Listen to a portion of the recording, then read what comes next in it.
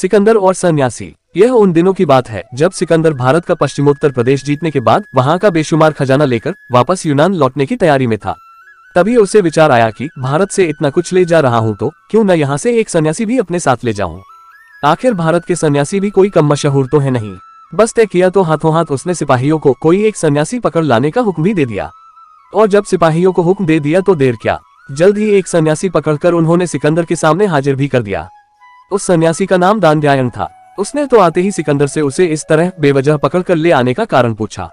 सिकंदर ने कहा, घबराओ नहीं, मैं तुम्हें ससम्मान अपने साथ यूनान ले जाऊँगा, ताकि यूनान के लोग भी भारत के सन्यासी को देख सके। दानदयायन ने कहा, वह तो ठीक, पर मैं यूनान जाना चाहता ही नहीं।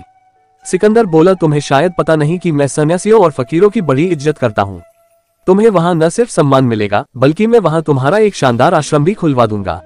दानदयायन बोला, हे यवनराज, मुझे लोभ देने की कोशिश मत करो। सन्यासियों को लोभ से नहीं जीता जा सकता। मैं किसी कीमत पर यूनान नहीं जाऊँगा। सन्यासी की ऐसी अकड़ देख सिकंदर हंसता हुआ बोला, सुनो, मैंने पूरी धरती जीत ली, मुझे रोकने वाला कोई नहीं। सो, जब मैंने तय किया है तो तुमको चलना तो पड़ेगा ही। और जब चलना ही है तो बेहतर है कि राज़ी खुशी चलो। दानदयायन बोला, देश जीतना या खजाना लूटना अलग बात है, और एक सन्यासी को उसकी मर्ज़ी के खिलाफ ले जा पाना अलग बात है। तुम मुझे ज़बरदस्ती अपने साथ नहीं ले जा सकते। सन्यासी के मुख से ऐसा सुनते ही विजय के मद में चूर सिकंदर ज़ोर से हंस दिया और हँसते हुए ही बोला, क्या बात करते हो? कौन रोकेगा मुझे? अभी तुम्हारी अकड़ निकाल देता हूँ। इतना कहते कहते सिकंदर ने सन्यासी को बांधकर एक रथ में बिठाने का हुक्म दे दिया। हुक्म तुरंत अमल में लाया गया और देखते ही देखते सन्यासी को रथ के अदन बाँध दिया गया। सन्यासी को बांधे जाते ही सिकंदर उनके पास पहुँच गया और पहुँचते ही थोड़ी अकड़ से पूछा, क्या अभी तुम सोचते हो कि मैं तुम्हें नहीं ले जा सकता? दानदयायन बोला हाँ। सिकंदर ने आश्चर्यचकित होते हुए पूछा, वह कैसे? दानदयायन बोला, तुमने मेरे शरीर को बांधा है। शरीर पर अवश्य तुम्हारा ज़ोर है, परंतु तुम्हें मेरा शरीर चाहिए या मेरी सन्निष्ठ चेतना यदि मेरी चेतना चाहिए तो वह तो मेरे नियंत्रण में है, वह यूनान जाकर खामोश हो जाएगी। फिर तुम्हारे पास रह जाएगा मेरा शरीर तो उसका तुम करोगे क्या?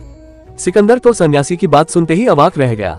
उसने तुरंत माफ़ी मांगते हुए सन्यासी को आज़ाद कर दिया। वो समझ गया कि वाकई राजाओं को हराना या खजाना लूटना अलग बात है, परंतु एक पक्के सन्यासी को ले जाना या उसका दिल जीतना दूसरी ही बात है।